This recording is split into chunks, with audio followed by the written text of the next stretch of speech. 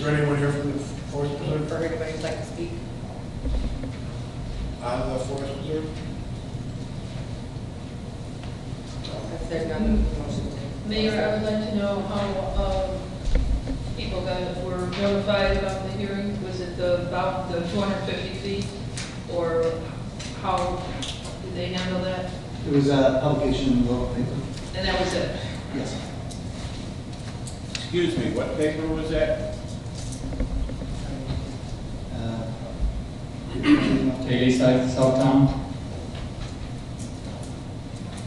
Any other questions? Okay, all in favor, say aye. We have a motion to close the public hearing. That's where we're at now.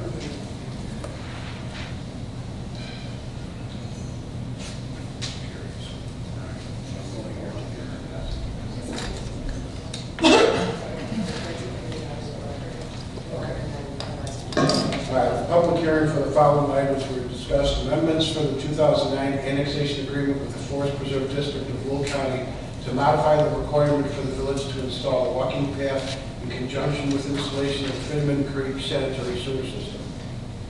Two, it allows for the village impact fees to the Forest Preserve District to be applied towards construction of the Veterans Memorial Trail Phase One.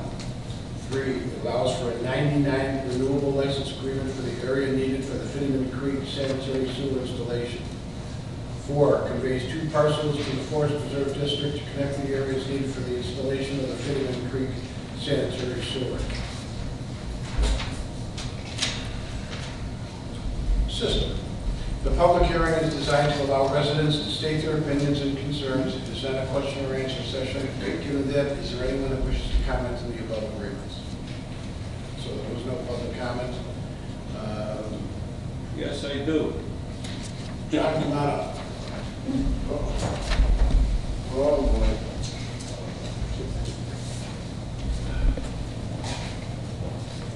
It's been a while since we uh, had a lot to do with Forest Preserve, but most people here will probably remember back, I'm taking a guess that it's six years ago, when the Forest Preserve took over that property on 160th and South Bell Road and planted hundreds of trees over there, which only, from what I heard, only 10% grew, and it cost them millions of dollars to put barriers around them and keep from the keep these trees from the deer eating them and with, when you do something like this with the forest preserve, I would really personally say, watch it.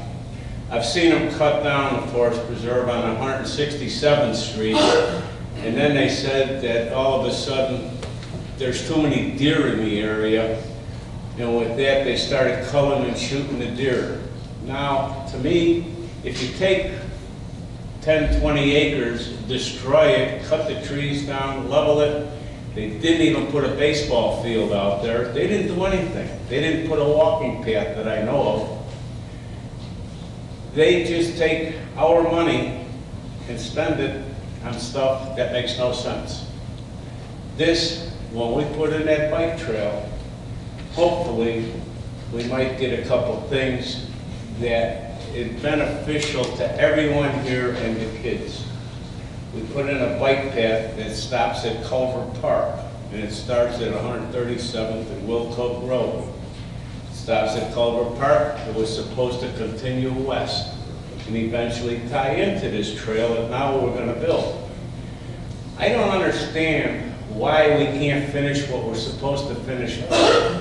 143rd Street, me and my wife went out this afternoon, we saw two people, and both of them were probably in their 80s, but when we went out, one was walking down 143rd Street when we were coming back home.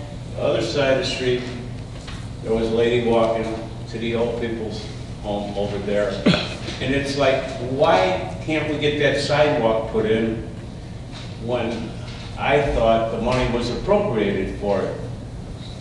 But the sidewalk still isn't in since the street's been put in. Uh, Other than that, that's only a couple of things, but anyway, that's with the stuff we're talking about now with the forest preserve. I just not a happy camper with the forest preserves and how they, they think and then how they take advantage of villages. Uh, Another thing, when I went to Home Depot, we had a group of people, or a lady come up here, and she's getting a group together, and they were gonna start cleaning up the north side of Home Depot and the area there. It looks real good now. You don't see too, you still see debris, but today, yesterday, my mistake, we had to go up to the car, uh, tire shop. The whole north side from Home Depot north is just bags and bags and, you know, all over the place. I mean, thi- this community, it isn't meant to look like a, you know, a junk shop. Somebody's gotta be responsible for it, whether it be Home Depot or whoever owns that vacant property. And like I say, it's getting, seems to be getting worse instead of better. So hopefully we can start finishing stuff we started and take care of the stuff that's there now. Thank you. Thanks, John. Do you any other comments? Okay, yeah. Is this on the public hearing? Yes. Okay. Hi, I'm Kathy Myers Boo. I have the property that's on 159th and Gallagher. I'd like to address the sewer route and that. Um, The Fiddyment Creek sewer route that this gentleman was talking about, um, the route that the Forest Preserve agreed upon was done at least in 2006, 2007 is when the route, route was agreed upon. I was involved in reading the documents, walking through the woods because I had property beside it to make sure that where this route went, it did not disturb or destroy old growth. Where the route is going through, where they're boring under the creek, there are no old growth trees. Um, This is something that is needed to put your 159th Street corridor, which is being, 130 million is being spent on it right now to get completed. This is something to be used to bring development to the 159th Street from 355 all the way up. Um, Seeing as my family owns the corner at 159th and Gougar, we need this to bring in development. We need it to bring in commercial development, to bring money into the economy for Homer Glen. Um, I am completely positive that when this gets through with the Forest Preserve, seeing as we still live there on this property, um, I will be very involved in it because I'm there, I will see what's going on. If something is being done incorrectly or in a wrong place, I will be eyes on the ground. So I just want to tell you, as I have dealt with most of you already over the years, this is my fourth administration, am I correct? Third, fourth group of people that I have dealt with with this. And you are my third mayor that I've dealt with. So I am excited that this is finally becoming a reality. And hopefully this will help you entice more businesses into the community along 159th Street. Thank you. Is there any other comments? Okay, is there a motion to close the public hearing? I so move. Gabriel, I'll second. Suisse. All in favor? Aye. All opposed? Motion carries and the public hearing is adjourned. The meeting will be called back into order. Next one is for Bob Schmidt. Bob Schmidt and his wife Connie moved to Homer Township over 40 years ago and opened up the Wheelville camping business on March 17, 1978. Bob and Connie have found Homer to be a great place to live, work, raise a family of five, and eventually retire. They have witnessed many changes over the years and still enjoy the community they call home. Through the years, Bob has been a dedicated member of the community, not only as a successful business owner, but also as a founding father of the Homer Chamber of Commerce. Bob was instrumental in building strong business connections through the community and served as a government liaison for seven years. Along with his service of the Chamber of Commerce, Bob has been a vital member of several of the village's committees, including the Public Services and Safety Committee from 2003 to 2015, two years of service on both the village's side committee and Community and Economic Economic Development Committee. Bob also served as a member of the village's police task force. We salute Bob for his many years of dedication, his outstanding service, and a commitment to the entire Home Run community, and want to extend a big thank you for truly making a difference.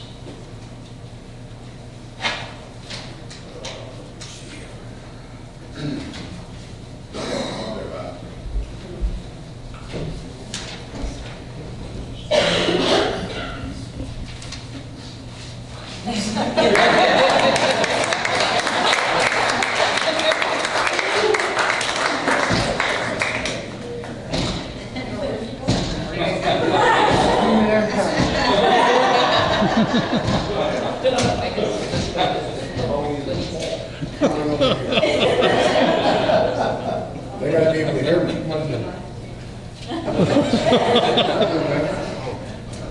All right. This plaque, which is over the uh, plaque, is, we just don't want to drop this. That's for you, and what it is, is presented to Bob in recognition of his years of service to the residents, community of Homer Glen today, May 9th, 2018. The plaque reads, "Making a difference awarded to Bob Schmidt for your dedicated years of and commitment. Thank you for everything you have done. You truly make a difference. Volunteer service from 2003 to 2017,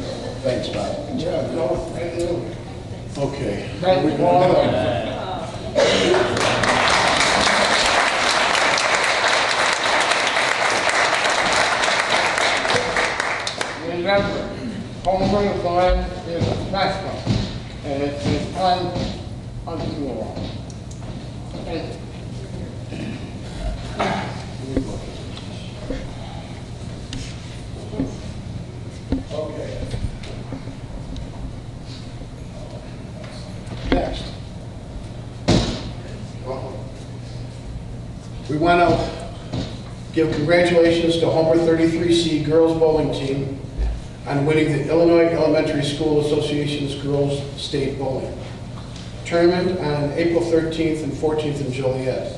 This is the first year a Homer 33C team bowling team has won the state championship. 24 boys and girls teams participated in the state event. After bowling four games the first day, only the top 10 teams advanced to the second day matchup, they bowled six more games. The girls' team comprised of eighth graders Emma Punter, Debbie Countess, seventh grader Cassie Contos, if oh, I got that right, Cassie. Sixth grader Paige Chasik bowled an incredible 735 the first game of the tournament, led by Paige Matasik's 220 game. The team's four-person scored was the highest game shot by any girls' team the entire weekend. When all 10 games were added up in the of 33C, girls' team won by 149 pins. The Girls State Championship trophy is a first for Homer's bowling program, and I am confident we will see more. I would now like to recognize Hadley Middle School teacher and bowling coach Andrew Dole for leading the team through the season and in the state championship event. Coach Dole, if you could please step up.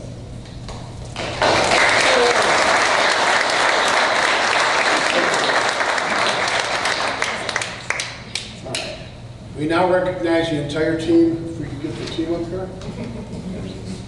There we go, yeah.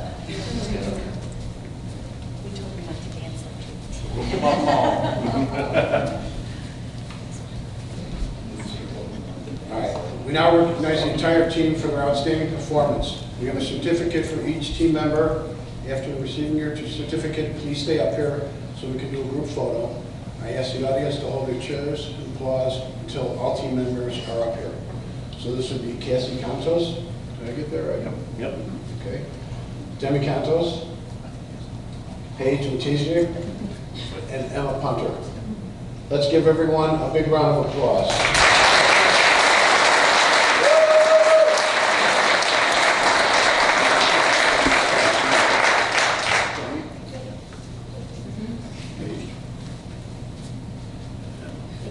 Congratulations. Well done. Thank you. Oh, wait, we still gotta get one of the coach. All right. Sue, you need to back up, Sue. You need to back up. Yeah, just a little bit. Back up. Coach, here's yours. We thank you very much for, Appreciate it. Thank you for the recognition. We gotta go back there and get picture. See you. Perfect. You tell us where we're gonna stand. No, she tells me where we're gonna start. Perfect. Sue's in charge. Together a little bit more. right. Or you might move your hand with me. And there, be right now. That's great. Perfect.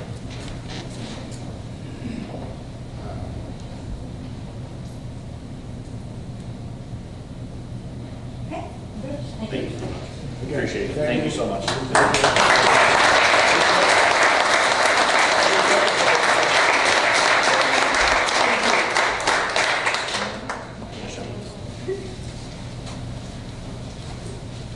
Look at that. Yeah, yeah. Look at that. Yeah. Okay.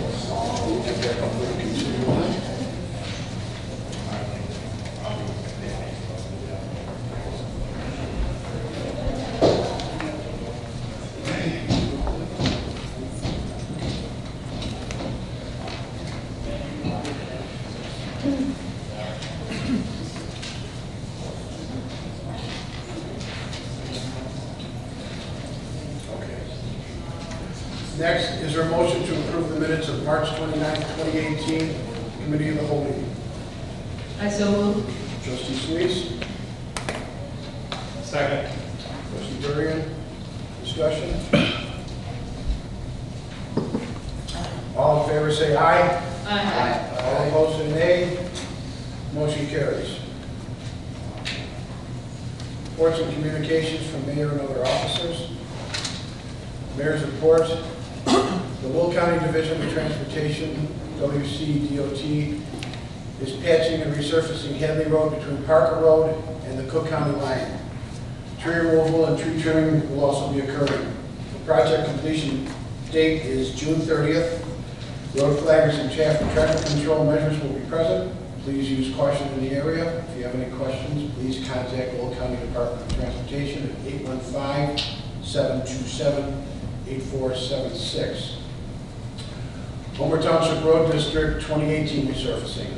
The Homer Township Road District will begin the 2018 resurfacing work this week in Kingston Hills and Derby Hills with a tentative date of May 10th. Signs will be placed in the area. Please call the Homer Township Road District if you have, if you have any questions. at 708-301-0246. Uh, And again, Bob, thank you very much. We really appreciate everything you did and what you taught us. Next, we'll go to the trustees. We'll start down with trustee Gray.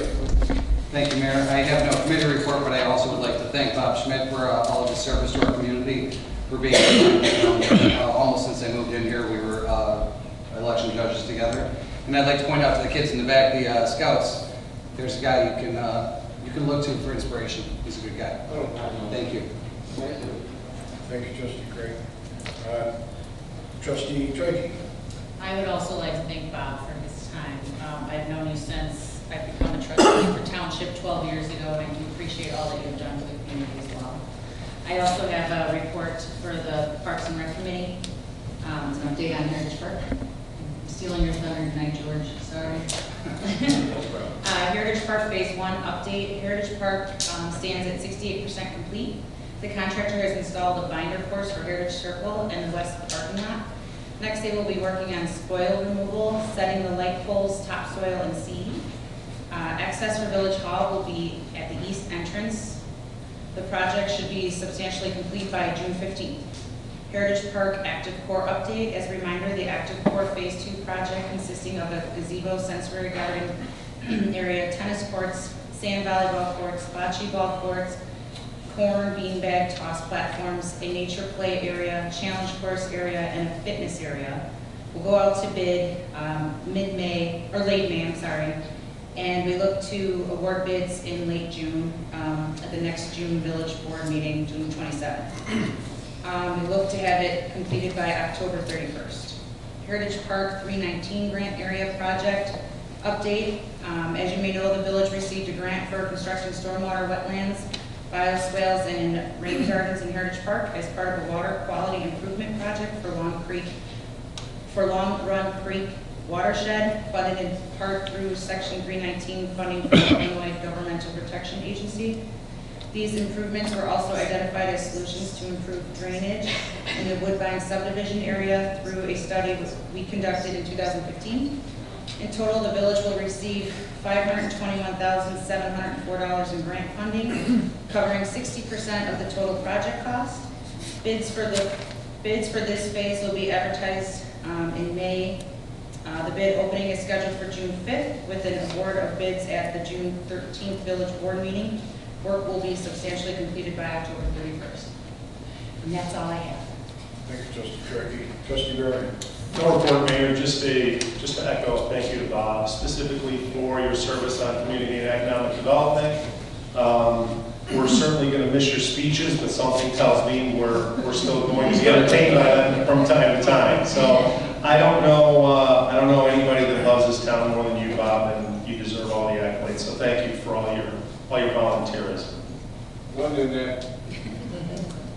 Trustee Rogers. Um, I just want to say, I hope you can continue to be president of my fan club. I'm sure we'll see you, continue to see you at some meetings and look forward to your input.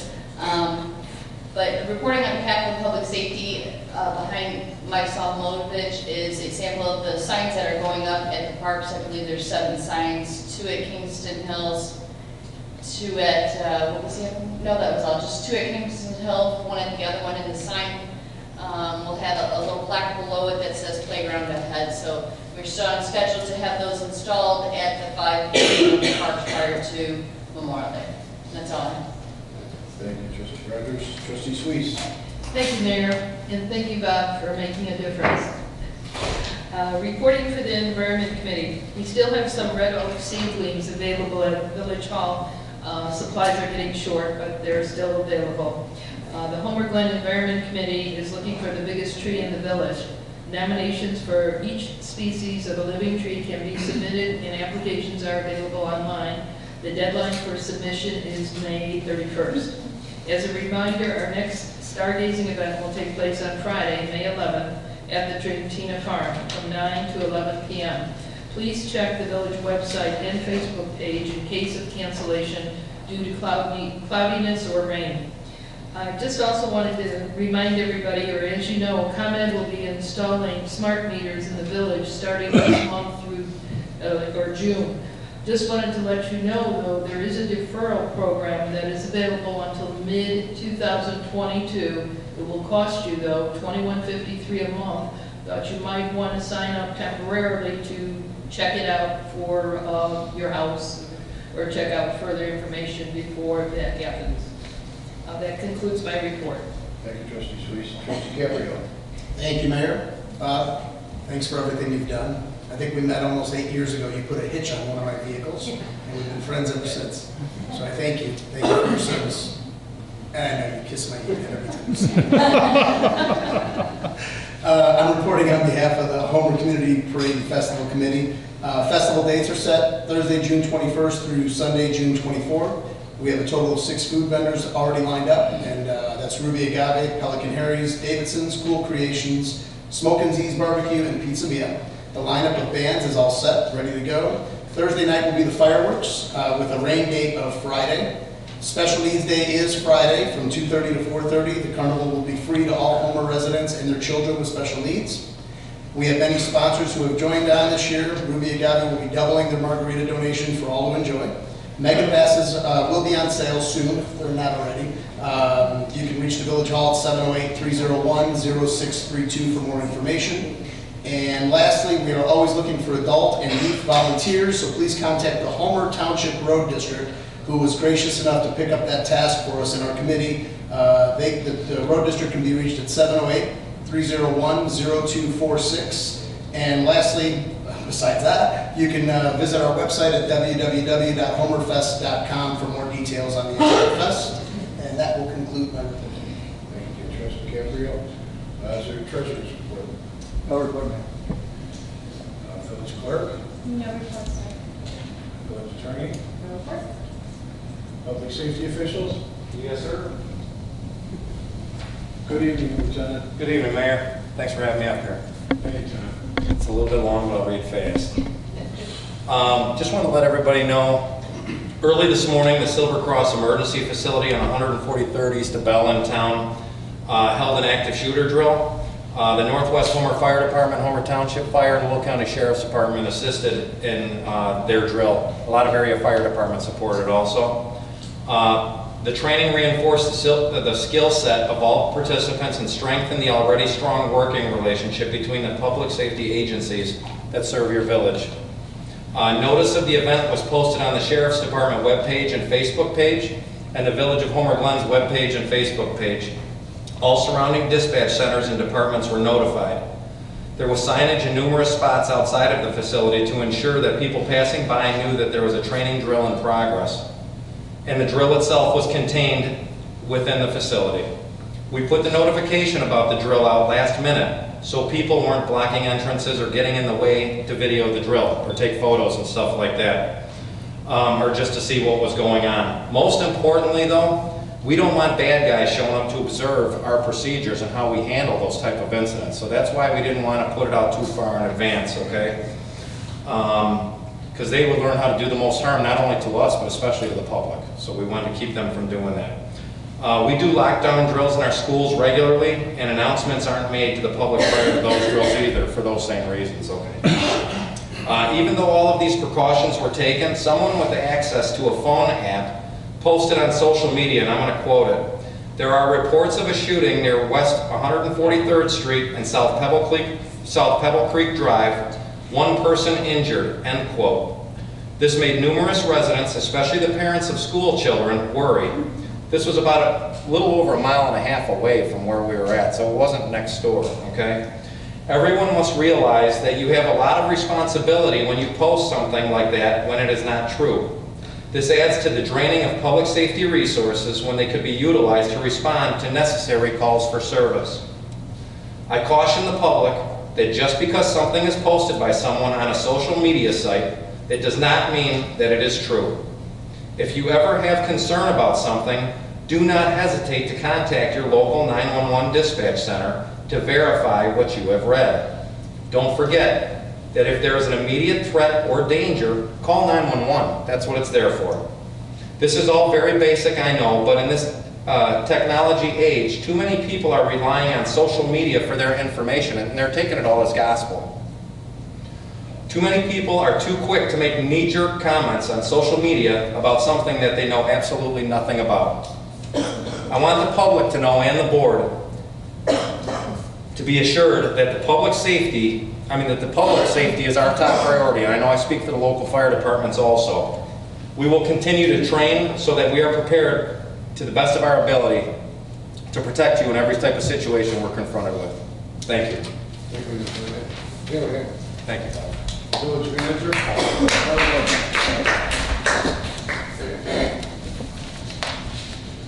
Public comment?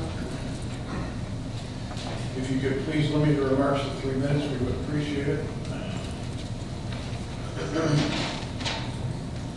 Victoria Haley?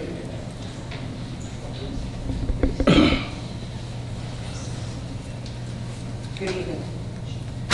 I'm not a public, public speaker, so please bear with me. Mr. Martin, you and I have been speaking, speaking for about a year now. This is in regard to the agricultural property located at 15064 West 143rd. My neighbors and I are here today because the agricultural land that's behind our homes is a very gray area. And at this point, we've called code enforcement, and I guess code enforcement goes out there, but not all of them are um, experienced with agricultural land, so to speak. And we're not getting any solid answers. We'd like to know if there's permits for the gentleman that's doing what he's doing out there. He's filling in the land. He's put in a road across all the properties behind us, on his property granted, but it's against the property line. I didn't know if they could do that. Can somebody put a road against your property line? Joe? You want to, or Mike?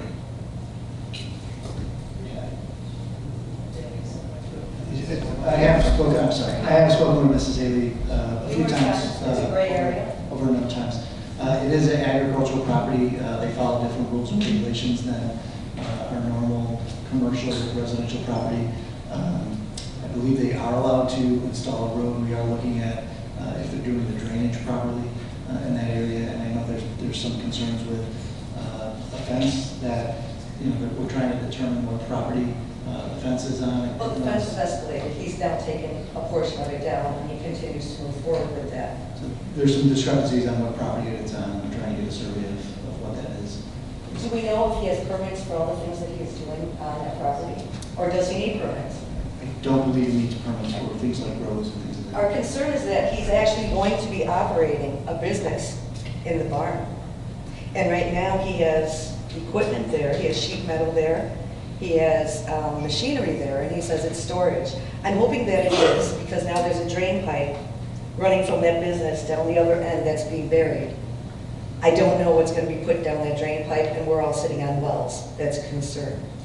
My other concern is, I guess it did get turned over to your engineering and drainage department. Um, Do we know anything on that, or how do us, as the residents, find out about that? Is there a drainage plan? Is Homer Glen approving it? Because right now, the road that he's putting in is higher than our properties, and all of the water will drain into our property, and we all have our septic fields out there. They will flood. So we would like to know what the drainage, we would like to know what the drainage plan is. And if Homer Glen is going to issue them a permit for it, what the plan is, will it be inspected? I mean, there's things, and he just moves forward with this. And we're here today, my neighbors and I are here today to plead our case to you. We've already called code enforcement, they've already come out. And the model for this gentleman and agricultural land and what he's proposing to use it for cannot simply be, he's gonna ask for forgiveness instead of permission. We all built our homes here, we're residents here, we love it, we wanna raise our families here. We didn't ask for permission, or excuse me, we didn't ask for forgiveness, we asked for permission. We got our permits, we did everything according to the rules and regulations that we had to. Every time um, my neighbors or myself ask, you try to help me as much as you can, but the answers we get back is that it's a gray area. It's agricultural, so indifferent. We'll have to look into it. Well, he might be able to do that. We don't know. And we need to know. We actually need to know. There's also an issue between uh, my house and my neighbor's house. There's an easement. And this gentleman has let us know that he's planning to use that easement as a road. He's, he already told us, it's an easement, he's going to use Doesn't matter it. what he says, he cannot use the easement. So when he, and he's taking down the fence to get to that easement, and once he does that, the bomber trucks that drive behind our houses every day, every weekend, will then be coming down Chicory Trail, going down the easement, because he needs to access that, he says. So we're gonna have bomber trucks running on an easement, which we told him you can't do that. And he said, yes, I can, it's an easement. So, Mayor, where do we go from here? What do we do? What do we call, what do we do? A couple of things, Mayor. The, um, in in order to run a commercial business out of the property, uh, if he's doing so, it would require a special use permit, so we are trying to monitor that. That does get a little difficult if we don't have access into the buildings. Uh, I believe we have gotten access uh, into the buildings, um, so we haven't determined that there's any um, business activity. He does have equipment there, but it doesn't appear to be uh, utilized, so that's kind of an ongoing uh, maintenance item. Uh, There is an unapproved right-of-way uh, that's between uh, uh, Mrs. Haley's home and and another home. Uh, He doesn't have the uh, ability to use that, Um, so that would be a code enforcement issue if he uh, did try to use that. Uh, The drainage laws are, uh, they are a little complicated, and I I don't profess to be an expert on that, so I'd I'd be happy to follow up with uh, Mrs. Haley on that afterwards. What I'd like to do is, can you come in tomorrow? It would have to be in the evening. I, I work a full-time job. That's okay, I know that feeling. Uh, What time can you make it? Five? Five? Uh, I've got a commitment that meeting, but I can check with Mike. If not, we'll leave it there. At Five o'clock tomorrow here, Come here. and we'll find out what we can do for it. Okay. And as far as Gray area. the, um, the gentleman that came out to Casey, he's the person who told me that there's now sheet metal in there. And also in the barn, he has two electrical meters. We've seen people come and go and work there. That's what it looks like. And usually if it looks like a duck, quacks like a duck, it's a duck. So Again, we we're just prove concerned. In court, that's the. You know, and if he's gonna beautify it and use it for what it is, that's fine. Mayor, thank you very much. You're quite welcome. I appreciate your time. Has anyone looked in to see if he even has a business license? I'm sorry, one more time here. Has anyone looked into see if he even has a business license? I don't believe he does. I don't. You did? Well, no, I don't know he has a business license. I know his spring company, he manufactures torsion, torsion springs. Okay. And it used to be on Canton Farm Road in an industrial strip mall, and now it's not there anymore, because I believe the shop is, We'll get verification. Yeah, on what's on our- right. All right, we'll, we'll talk tomorrow, Thank and you. we'll see if we can get this straightened out tomorrow. If not, we'll find out what we have to do. thank you. You're quite welcome. John, you want to talk again? No, that's all right, thank you. You're quite welcome, you're on the list. Okay, public comment is done. Next is legislation and action items. I'd like to invite the members of the Homer Glen Junior Women's Club up to the podium for this next item. Tonight, on behalf of the Homer Glen Junior Women's Club, we are joined by President Karen Hill Davis, Treasurer Marina Castro, Miss Lisa Johnson, and Miss Mary Lee. The Homer Glen Junior Women's Club is a non-for-profit organization founded in 2010 by residents Kathy Young and Rachel Chorley. The club fulfills its vision of a brighter tomorrow by donating funds and resources, hands-on service, extended volunteer opportunities to the community, and recognizing volunteer excellence. Fostering educational endeavors and providing a strong network to promote socialization, friendship, personal growth, leadership, and care, and caring. I am honored to announce that the Homer Glen Junior Women's Club has awarded the village with a $24,000 grant to be used towards constructing a gazebo in Heritage Park.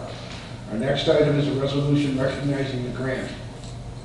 Is there a motion to approve resolution number 18-002, a resolution recognizing a grant from the Homer Glen Junior Women's Club for the construction of a gazebo as part of the village's Heritage Park development? Trustee Truggy? Second. Trustee Gray, discussion? Uh, No discussion other than thank you. Thanks. I know you guys have put a lot of time and effort into working with the village to try to get this finally to fruition, so we appreciate your due diligence and your commitment to it. We really appreciate it. This is, uh, to me, another example of the volunteers in this town who put in their time and effort, and in this case, um, donating dollars that save taxpayer dollars. And um, I think that sort of epitomizes what we try to do here in Homer Glen, and I think, pardon me, the um, Junior Women's Club is a great example of that, so thank you very much. I agree with what they're saying, and it gets better and better every year, so we can't thank you enough. Thank you all. With that, I'd like to, uh, Blair, uh, Madam Clerk, please call the roll. Trustee Gray? Aye. Trustee Caprio? Aye. Trustee Rogers? Aye. Trustee Sweet? Aye. Trustee Burden? Aye. Trustee Hetzke? Aye. Motion carries. With that, I'd like to present a copy of the signed resolution to President Karen Hill Davis.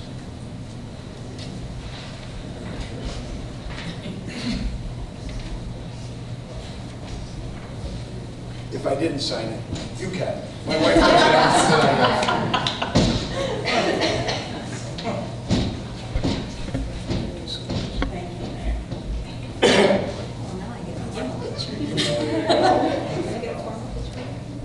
Yeah, where? Up there? Wherever you want. So you tell me when, and I'll go there. Uh, Rita, okay? I'm gonna come over here, because otherwise some people won't be able to hear me, even though I do have a big mouth. Whereas the Village Heritage Park is currently being developed to serve as a community-wide public gathering space for Homer Glen, and the active core area of Heritage Park will include the following amenities. Challenge course, fitness area, beanbag, platforms, bocce, horseshoe. Didn't we just hear this? Courts, pickleball courts, nature-based playground, tennis courts, sand, volleyball courts, and sensory garden featuring a gazebo. And the Homer Glen, I'm forgetting where it is, because it's not. And Homer Glen Junior Women's Club, a local non-for-profit organization founded in 2010, has donated funds and resources, that's hand-on services opportunities, fostered educational endeavors and scholarships, and provided a strong network to promote socialization, friendship, personal growth, leadership, and caring in Homer Glen community. And the Homer Glen Women's Club began with 26 members and now has grown to a membership of 60 women in counting. The Homer Glen Junior Women's Club established, established a legacy fund with the purpose of raising funds to be used towards a project that aims to benefit all members of the Homer Glen community. And the Homer Glen Women's Club established, oops. Homer Glen Junior Women's Club has determined their legacy project to be funded with a gazebo within the village's Heritage Park. The Executive Board of the Homer Glen Junior Women's Club has voted in favor of awarding $24,000 legacy project grant to the Village of Homer Glen to be used towards constructing the gazebo in Heritage Park. Now, therefore be resolved by the President and the Village Board of Trustees of the Village of Homer Glen, Will County, Illinois, that the foregoing recitals are hereby hereby incorporated into this resolution as if fully set forth herein. Oh, there's more. The Homer Glen Junior Women's Club shall submit the specified amount of twenty-four thousand dollars to the Village of Homer Glen prior to substantial completion of the active core area of the Heritage Park development. Upon completion of the gazebo, a permanent recognition plaque shall be affixed to the gazebo recognizing the grant from the Homer Glen Junior Women's Club. The various portions of this resolution are hereby expressly declared to be severable, and the invalid, invalidated, and any such portion of this resolution shall not affect the validity of any other portions of this resolution, which shall be enforced to its fullest extent possible. All ordinances and or portions of the resolutions previously passed or adopted by the Village of Homer Glen that do not conflict with the inconsistent with the provisions of the resolution hereby. This resolution shall stay in full force and effect from and after its passage and approval. Thank you.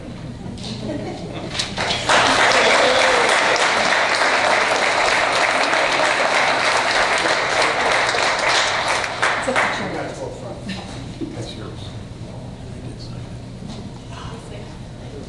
May as well while you're here. There's a new tradition of dancing started tonight.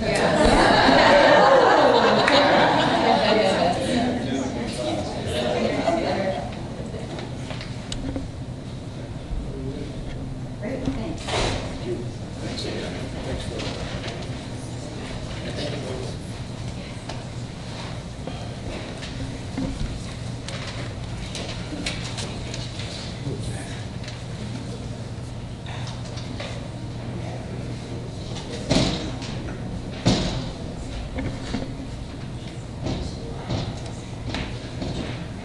Okay. Next, is there a motion to approve ordinance number eighteen 20 an ordinance establishing a temporary one hundred day moratorium on the issuance of special use permits for wireless communication facilities effective immediately. I so move. Trustee Swayze? I second. Trustee Caprio, discussion. What, the reason we're putting a moratorium on it right now is we had Verizon put in a, a cellular tower, and where it went through, really shouldn't gone out, but we can't stop it. So the village wants to take some time to be able to look to see what we can do to where, if they come back in the village and they want to open up, they don't put it in someone's backyard. Uh, Mayor, I'd just like to add that, we'd also, we're also looking into seeing how we can get our uh, first responders and EMA and uh, sheriff, anybody in the future, access to those towers as well, if that's possible, and we can, how we can try to get in front of that. So just to have uh, staff and and the attorney can take a look at that and see what kind of language we can put in there. That sounds good, because the way it is right now, they're gonna charge us, we're just gotta put it here, and it should have been a free. Next, is there a motion to approve walk, work authorization? Yeah, we need to do it.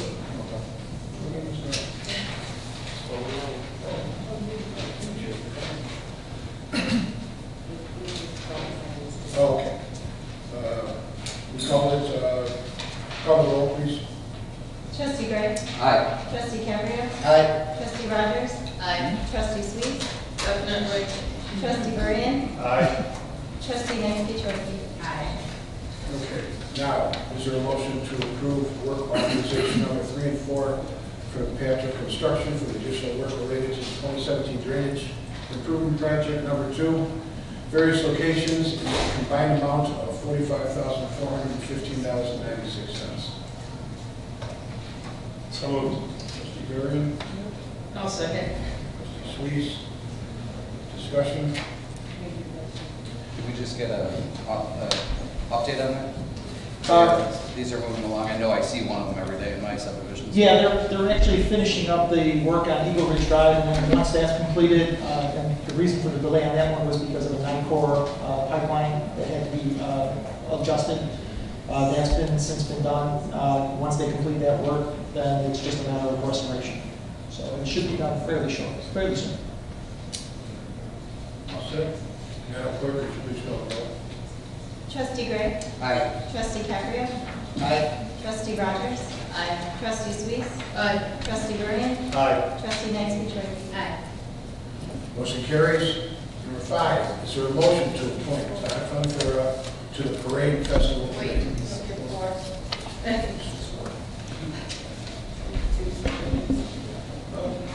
Okay. Is there a motion to approve ordinance, Todd, I'll get back. Is there a motion to approve ordinance number eighteen 22 approving plat subdivision for the proposed Duke subdivision located at one twenty-five thirteen West Hadley, Gold Mine, Illinois? B, we on these separately? Okay. Is there a motion to approve ordinance number eighteen 23 approving one, map amendment rezoning from A two rural residential to R three, A single-family residential district, and two, site plan with certain variances for the proposed Duke subdivision located at one twenty-five thirteen West Hadley Road, Homer, Illinois, with an additional condition to allow the village to locate a tornado siren pole on the detention pond parcel with proper access. So moved. Trustee Durian. Second.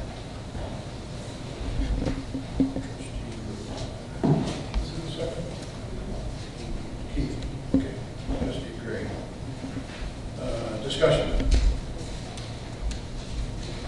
Is, uh, is the developer somebody here?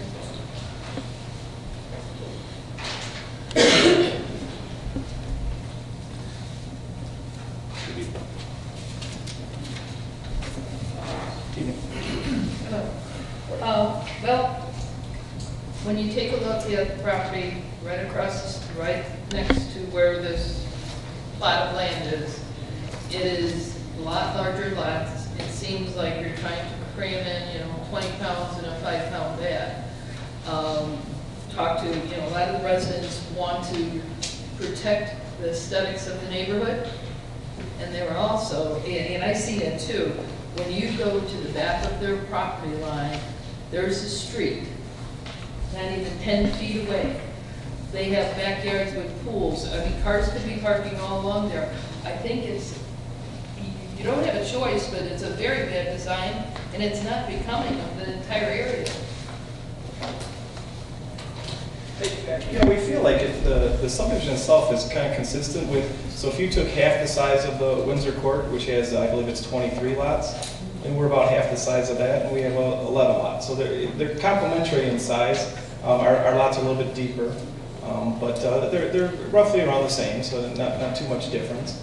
Um, And, and with the location of the road, it's just we can't put the road in the low area because we'd have no way to provide our detention storage. We, we can't put it in the in the street, so. And if the road was to go on the west side of the property, um, that is where all the trees are that we're preserving. Um, That's the whole tree line, you know, that we're keeping back there, not disturbing, and that's part of the beauty of, you know, the land there. That's, I understand that, but that, the piece of land is very narrow to begin with. So why, how big are your lots? How big are your lots? Because the map that we're looking at, it's almost, it's, it's quite, they're quite a bit smaller. The Windsor Court properties are half acre lots. Uh, Yeah, they, uh, they ranged from 90 foot wide uh, to 100 foot wide on, on the ones that are facing to the east. That, that's a, that's an approximate width, and they're all um, 15,000 square feet lots. And the seventy-six foot ones are how much? Those, those are the ones on the south, but they're really deep, they're all, they're all 15,000 square foot. Seventy-six seems awfully narrow to try and stick a house in with the setbacks. well, it's 50, it it would be a 56 foot wide house, yeah, which is, you can do a three-car garage on a 56 foot wide house. I mean, I have multiple models that have that width. And construction traffic will be managed through this process, because I do know some people that live in the area that have called me, and they're concerned with construction traffic where that current dead end is. Yes, well, we, um, in the plan commission, we spoke about putting a barrier there, which we would be, you know, open to as long as the fire and, um, police would be okay with that. Um, We would put some, you know, concrete barriers there, so no one would be able to use the Windsor Court So be a transfer. managed process? Yes. Uh, I'd just like to mention, in the, uh, in one of the planning commission meetings, it was mentioned about water flow to the west. Has that been taken care of? That's all been accommodated into the detention area? Uh, yes, I mean, we'll- we'll- yeah, we have to do all the drainage, but yes, I mean, it's, we have to con- contain our drainage and release it at a restricted rate. And that's what you were talking about, the low area, the detention. Yeah, the- the site drains to the west, but it will still be collected and detained. like- And there's some sort of landscape buffer going in uh, along the roadway, uh, along the uh, east side? On the east side, yes, uh, you can see part of the plans, you can see the, the- the heavy landscaping and stuff just to separate between the property lines that are there, yes. Is what trustee Speaks said about cars parking along the street. There is going to be some sort of landscape buffer to Yes. cushion those existing homeowners. Yes, and I believe you have some views of it and. Right, I- we have that in our packet, I think. And, and we actually changed that per the recommendation of plan commission and the residents there. Um, Originally, we had a path, and then we just did a, but they didn't want people that could potentially be walking along their fence Right. line, so this was. And, and also the homes that are gonna be built there are gonna be consistent with the homes that I've been building in like the Glenview Walk Estate subdivision. I believe you guys have some photos of them, you know, they're all custom homes. Um, you know, they're not gonna be a cookie cutter subdivision with any, you know, repeats. It's gonna be all custom homes and it's a beautiful site with the tree line. I think it's gonna be very attractive. Most of the lots there, one through eleven, or, um, four through eleven would be lookout and walkout lots. Is there going to be a monument sign on uh, Hadley? Or Yes, I mean, we'd like to have some sort of signage up there, yes. How long do you expect this project to go? I mean, I know it's hard to say. Well, it shouldn't take more than two years tops. I mean, it's, it's 11 lots, it's not a giant project. It'll be something that we can, um, you know, build a model home or two and then, you know, kind of go from there. It's, I only have uh, two lots left in Glenview Walk. Other than economics, no, other than economics, uh, you have the three seventy-six foot lots. You couldn't have made those larger, just combined and made two back there? I know you'd rather sell them. but- Right, because then that's, that's like spot zoning, you, you want it dense, and then on, on Windsor Court, you want the other side of Windsor Court, it doesn't look like that. Well, what, what is the width of the lots on Windsor Court? Kevin also. You know, I don't, I don't, I don't remember, I don't remember offhand. DJ, Well, I know they're not big. How about sidewalks?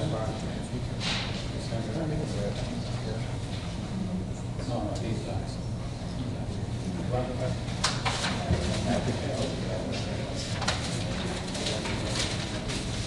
Sidewalks, now we don't want them no more? No, there will be sidewalks. We've moved the sidewalk to the other side of the street. Yes, in front of the homes. What about the elevations over there? Are, are, are those homes gonna be walkouts, basement walkouts in the back? We believe so, yeah. Look, some look out and some walk outs, you know. And then the three at the end would be flat. So the ones that are on Windsor Court are totally all brick, they're huge. Why? I don't know, why do we have these frame homes in our packet? With, with, uh, you know, it looks like brick about 12, 12 inches up only, and the rest is all frame? So those were examples for the skinny lots, that's what the plan commission asked them to show models for the three skinny lots. That's what they provided. Well, this isn't what you just said, they're supposed to look like the houses on Windsor Court. They'll be, they'll be consistent with the homes that we've done in Glenview Walk, which are, I believe there's pictures in the packet. This is, I think, I think those were more for like a floor plan perspective than so much an elevation. I mean, if you look at the, ranch homes and the two stories that we built, the ones we've, ac- the ones we've actually built, I mean, you can see the elevations of those. Trustee Swayze, do you have that lighting back? Pa- Page six and seven. I don't have those. Okay. I have Glenview Walk, which are beautiful. Right. Well, I guess we're lucky. Yeah. So is this, what, which house is You're gonna love these ones. I have two sets. No, the, the ones on pages six and seven are the samples of three of the homes that we built in the Glenview Walk Estate subdivision. Those don't have pages. Mr. O'Malley, just to clarify, I believe you, you are proposing all first floor phases? Yes, yeah, they'll be all brick on the first floor. Most of them will be brick all the way up in the front. Um, And I think what's gonna really go there are a lot of ranches, um, or some ranches, and those will be, you know, entirely brick as well. Price point? Uh, I mean, the- with the price of the lots of construction today, it would be an upper five hundred up from there, so. That'll be, you know, probably five seventy-five for a base month, you know, and that, that's the smallest one. I mean, some of the other homes we built in Glenview Walk have been in the eight hundreds. Sure, sure. I I would, when I look at this, I think this is a lot like, um, unfortunately, many pieces of land we have in town that, um, and I think as, as we've talked through this, I, I think, I think Mr. O'Malley agreed, this isn't optimal, right? But this is taking a piece of buildable land and balancing both sides of someone that owns a piece of land and has a right to build on that, um, and has, in my opinion, when you look at Glenview Walk, um, a reputation of, in this town, building quality products. So I don't have concerns on that side. And, and if you're telling me that they're going to be similar to Glenview Walk, I think those are beautiful homes. And we're talking price points here that match, um, are in the neighborhood of, of the adjacent neighbors. So, and, I would say that throughout this process, I think there's been flexibility on both sides in talking through, because this is a, a narrow strip, and trying to figure out what worked best the least. Um, and so, again, I don't, it's not optimal, but I think it's, I think it's a plan that I can support. And, and again, I need to build a quality product, and, and reputation in this town, and the product you've built is something that I'm comfortable Anyone else? Well, I'm just saying, we do have to think of the residents as well. They probably would have bought those lots if they knew housing that is on a tight, you know, squished in there, basically, you know, housing that doesn't look similar to theirs. Now they have a street in front, they have a street in back. What's the resale value of that property? Would you buy a house that have two streets, front and back, right, right there? No. Well, I would say that, that we're gonna see when- if these sell, one, but, but two, um, I think anytime you build a home or buy a home on an empty piece of land that's buildable property, that's, that, that's, that's a risk that's, that's involved there. And, and that's what I said, there's a balance to me here of someone that owns a piece of land and has a right to build on that land. And, and these conversations have been back and forth of trying to make the best out of this of land and taking in those, taking those things into account.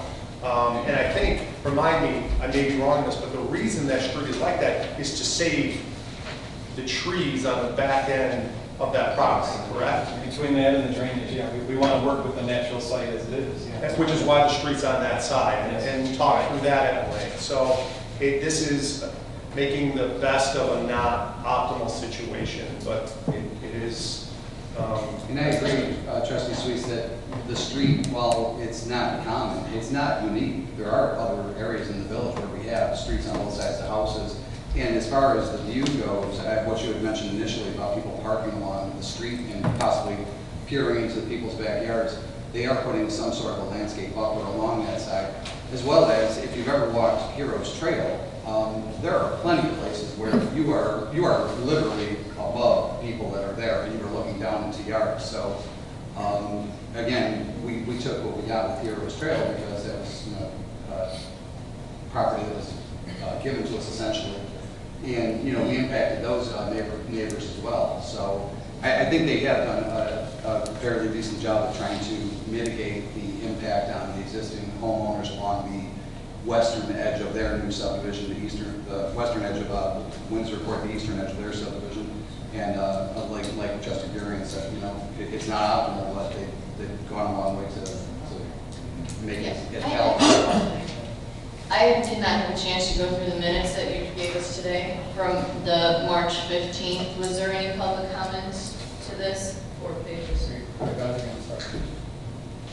Regarding, public comment. Did the, were the, no, did the residents come out and, and Oh, were the yeah. residents? Oh, yeah, there were concerns about the property values, uh, lack of privacy.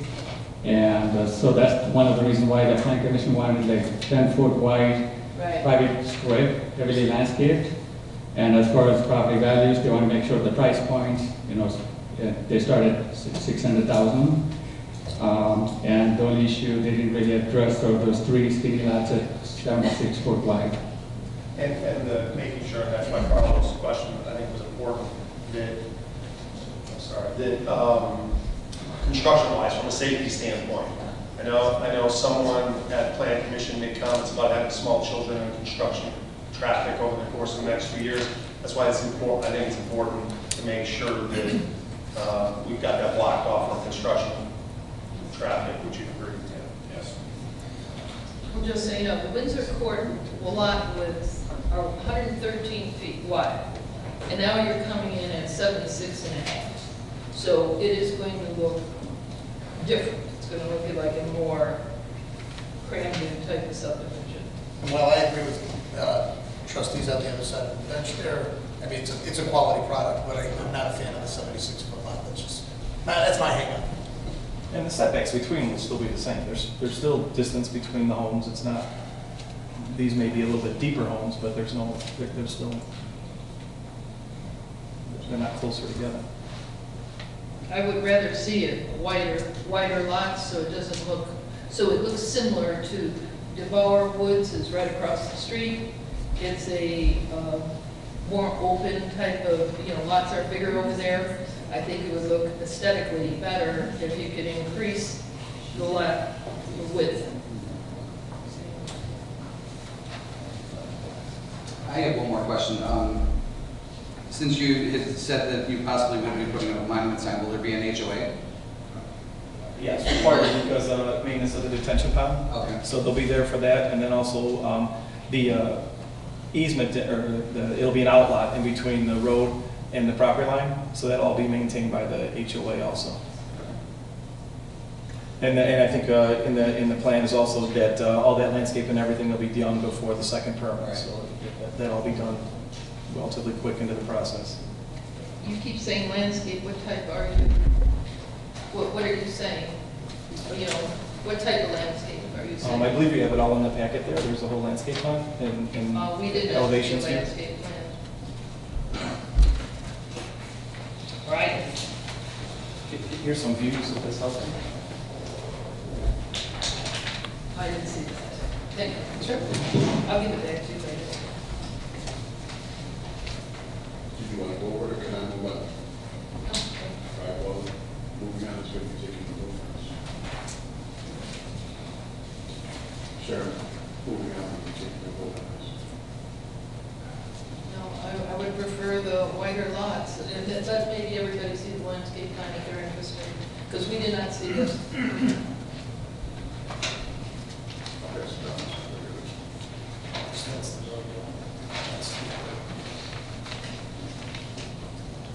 Yeah, we'll fix it. It's right on top, you know, there's no space in here. So that landscape down Duke Road will just be consistent on both sides all the way down. Uh, well, on the, on the other You'll side have would be sidewalk. parkway trees and stuff like that, and then the sidewalks are more of a traditional streetscape, where on the east side, it's gonna be pretty heavily screened. Right.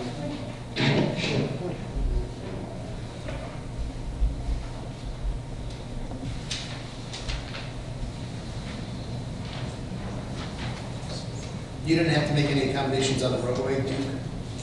That's still standard sizing?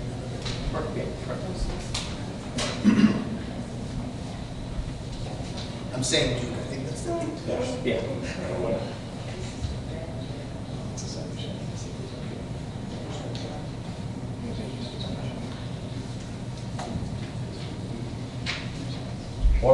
Or should it be Brentwood with the other street across the street there?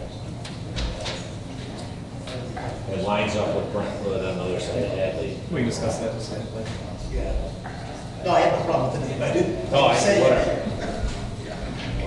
I was just trying to make it.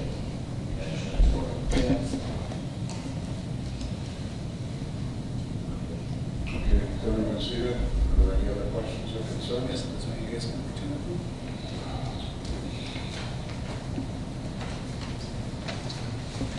Okay, uh, Madam Clerk, could you please call the roll? Trustee Gray? Aye. Trustee Caprio? Aye, but I'm not a fan of the size of the tree lots. Trustee Rogers? Aye. Trustee Sweet? No. Trustee Burman? Aye. Trustee Nancy Chouwaki? Aye. Motion carries.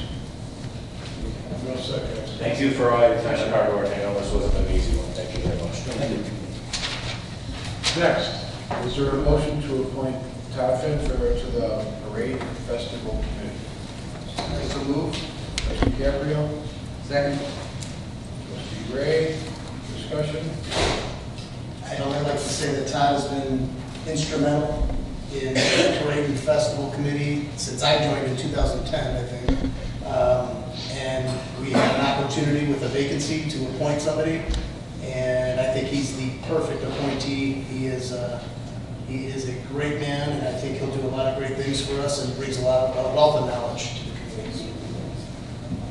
I agree. Should have been put on a few years ago. You owe me five bucks for all that. Any other comments or questions? Madam Clerk, please call the roll. Trustee Gray? Aye. Trustee Caprio? Aye. Trustee Rogers? Aye. Trustee Sweet? Aye. Trustee Burman? Aye. Trustee Nancy Chouwaki? Aye. Motion carries. Is there a motion to approve the amended mayor and village board standard operating procedures SOP number one, two, six, eleven, twelve, and thirteen? It is understood that as the SOPs number three, five, seven through ten, and fourteen have not been amended this year. So moved. I'll second. Discussion? Uh, yes, Mayor. Wait, wait. Uh, this is, I have a issue with 12, which is the community room. I think we need to take another look at that as far as what we should allow in the community room as, um, like maybe some materials, like paint, should not be allowed. Uh, There was a a situation recently that staff had to go out and buy tape, plastic to cover up all the rugs. It took extra time, extra uh, village assets to do this because the, it was a paint, it was a class or something with painting for kids, a summer program. So either we, I know we take a um, credit card or cleanup if there's something like that, but I don't think, maybe certain materials should be banned. Because if it takes too much staff time, too much to clean up, to protect everything. So I think we should uh, either not allow certain activities that include, say, items like that, like paint.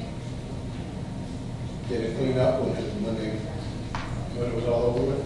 Did it clean up? Uh, Yeah, Mr. um, J. Rob. Right.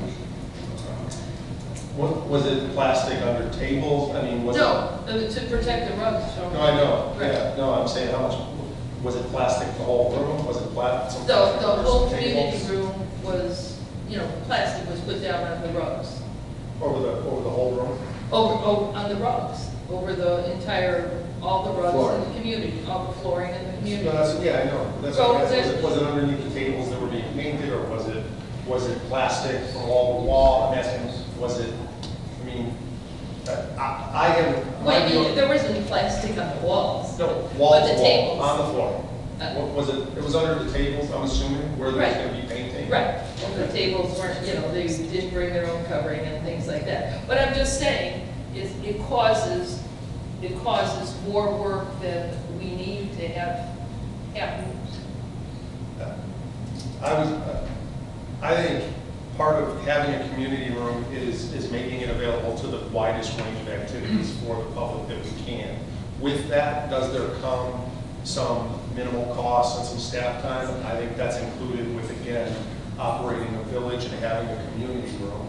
Um, could we potentially explore, before we, I think, knee jerk ban things in there? Could, maybe we could look into um, whether, if there is that amount of cost on something, we can look into, you know, some sort of, um, I don't know, either reimbursement or, before we just start banning things. Well, I think it's easier to do that than to charge. They could do other activities or other arts and crafts than to um, charge them for it. On rule number 12, I think there, you have a provision in here for damages and credit card. There it is, yeah. Right, there is a, for damages, but not for prep, you know, like the prep work, like go to putting down all the plastic and buying all that, all the protections.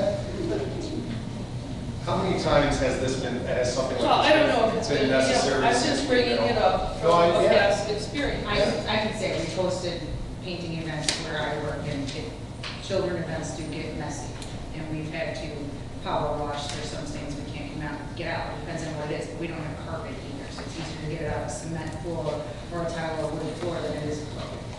So I see Sharon's point, the prep work of it, maybe, maybe like Brian said, not restrict, but put uh, stipulations on what they have to do before the event and after the event. Or put a charge to it then.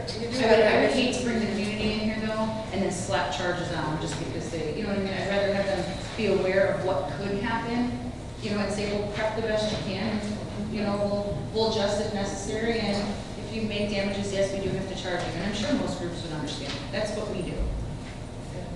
I agree, and I would say also that if that does become a problem in the future, and it's been a few years now, and I guess it's not too worn looking back there right now, maybe we could look at taking, it is modular carpet, we could take a section out, put in tile, and say, you know, if there is gonna be any less, try to keep it in those areas where it can be a little bit more uh, cleaned up, so.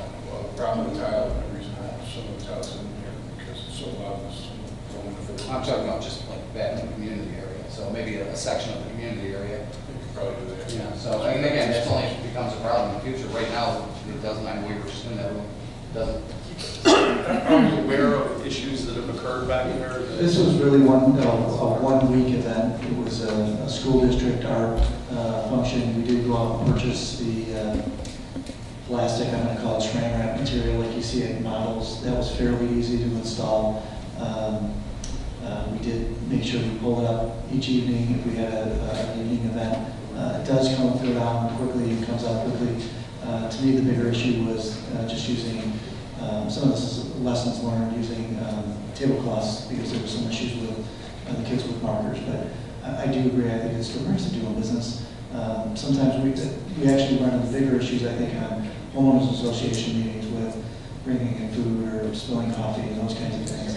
Um, uh, I, I think it ebbs and flows, um, and I think we kind of manage it along the. Um, There is definite staff time with setting up tables and chairs uh, to specific designs. Um, But again, I- I- that's the price of doing uh, the business, and and we're getting better at that, and we're better staffed at, at- at this of season. Yeah, I'd rather have to pay for carpet cleaning on a regular basis or replace a tile once in a while, but know that the community room is being used all the time. I mean, I think that's what we, what we, the thought behind it was. Um, so- But I also think that we should put, you know, not restrictions, but like I said, give them rules to follow, because I don't want it to be a free-for-all, and then just be, oh, well, Agreed. ruin it, we ruin it. Yeah, agreed, agreed. But, but that stipulation basically is. And that's the first place. Yeah. Right, right. You know, and, and things are gonna happen. But I'd rather let them know, take caution, you know, beforehand, than just us running your credit card for five hundred bucks because you damaged your carpet. I would rather, you know, specify that ahead of time. And that's being done. Yes, and we can do a better job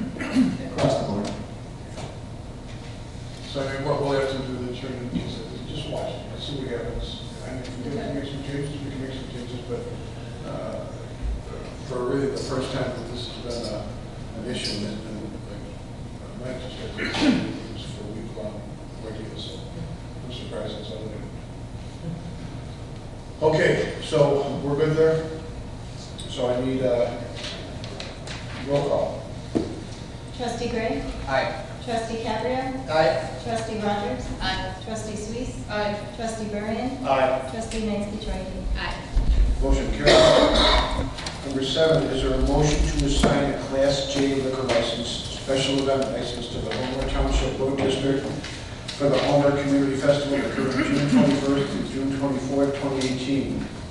It is understood that the $200 fee for settlement.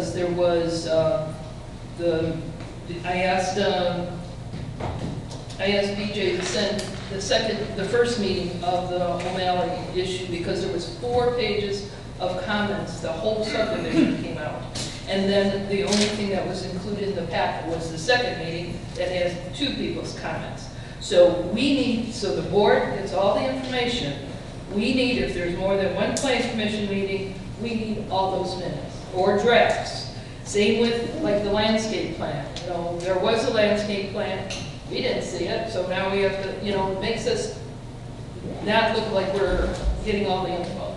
Okay. And then you should get all the information before you have to vote on something. Thank you. So BJ, could we just make sure that we follow up with that if there is more than one meeting and it, that we get both meetings?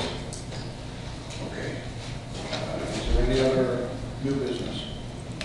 Is there a motion to adjourn? I so move. Trustee Suisse? second. Trustee Gabriel, all in favor? Aye. Opposed? Meeting's adjourned.